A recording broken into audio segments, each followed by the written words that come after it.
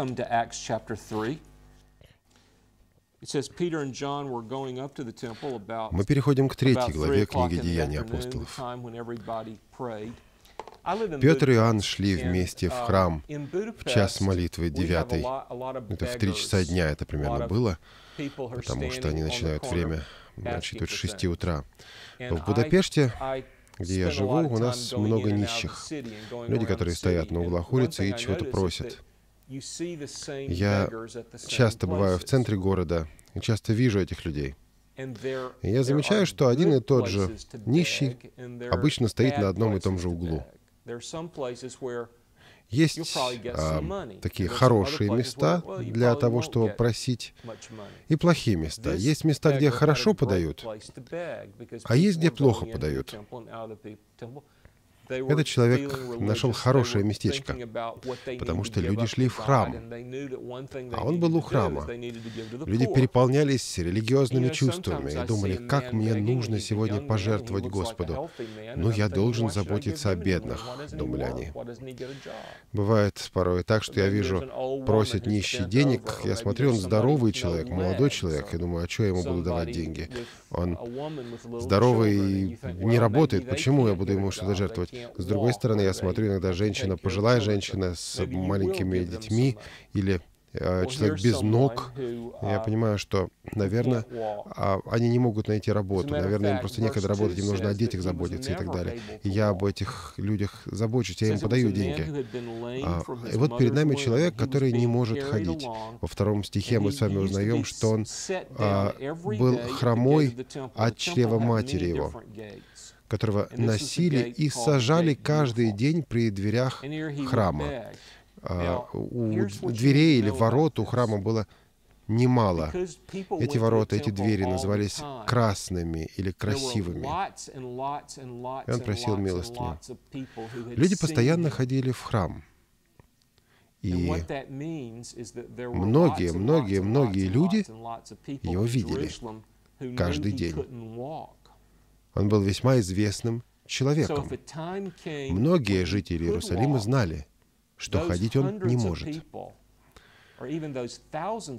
Если бы он вдруг пошел, то эти сотни людей или тысячи людей, жителей. Иерусалима, смогли бы подтвердить, да, этот человек никогда не ходил, а теперь он ходит самостоятельно. Почему он стал ходить? Что случилось с ним? Если этот человек действительно был бы исцелен, то новость об этом стала бы сразу известна и послужила бы распространению Евангелия и прославлению Христа. verse 3, Если бы этот человек был исцелен во имя Иисуса Христа. Третий стих. Он, увидев Петра и Иоанна пред входом uh, в храм, просил у них милостыни. Петр с Иоанном, всмотревшись в него, сказали. «Взгляни на нас». Наверное, этот человек подумал, ага, он просит um, взглянуть, значит, сейчас денег даст. И, ожидая денег, он 6, посмотрел на Петра и Иоанна.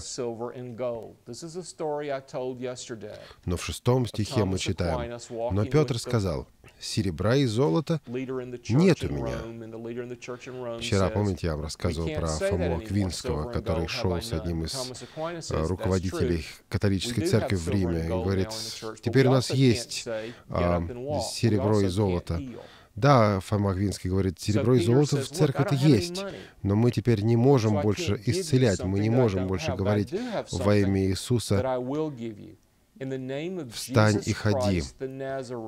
Петр говорит, нет у меня денег, серебра и золота нет у меня, chapter 3, но во 6. имя Иисуса Христа Назарея, встань и ходи. Деяние man 3, leaped, and he began to 6. walk, and he entered И, the взяв его за правую руку, поднял, и вдруг укрепились его ступни и колени, и, вскочив, встал, встал и начал ходить, и вошел с ними в храм, ходя и скача, и хваля Бога. В английском языке, в английском христианстве есть даже такая песня «Ходя и скача 35 miracles и хваля Бога». Христос в небесах. but we have the record of 35. В Евангелиях мы читаем 35 чудес Иисуса Христа. Мы знаем, что чудес было гораздо больше, но записаны для нас 35.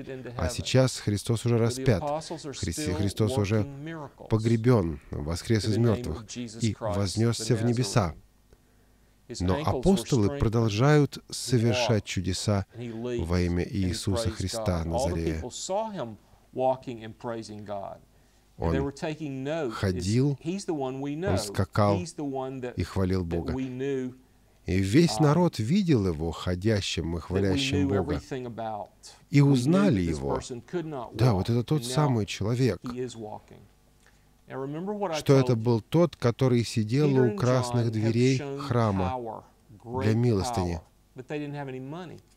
Он раньше не ходил, теперь он пошел. Петр и Иоанн явили великую силу, величайшую силу, но денег у них не было. Знаете что? Они не использовали эту силу ради обогащения.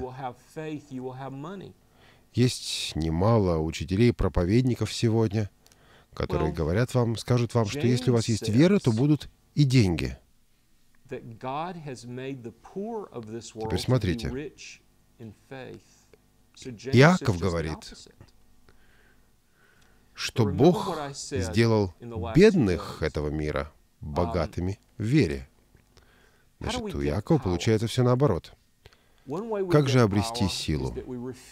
Чтобы обрести силу, в частности, духовную силу, конкретно духовную силу, необходимо отказаться от всякой другой силы, от всякой другой власти, в том числе от силы или власти денег. И это нелегко. Все мы хотим быть богатыми. Денег у них не было. Финансовой силы, финансовой власти у них не было. Но они могли исцелять хромых. Они могли поднять на ноги того, кто до сих пор не ходил. Поразительно, удивительная вещь. Там, в Иерусалиме. Вот о чем говорит третья глава Деяния апостолов. Вторая глава «Святой Дух сходит вниз». Третья глава «Хромой человек поднимается на ноги». Приглашаем вас принять участие в глобальном проекте по распространению Евангелия и расширению библейского образования. От нас зависит, будет ли христианское образование доступным. Поддержите наш проект молитвой и финансами. О чем молиться и как пожертвовать, вы можете узнать на сайте www.tvseminary.com.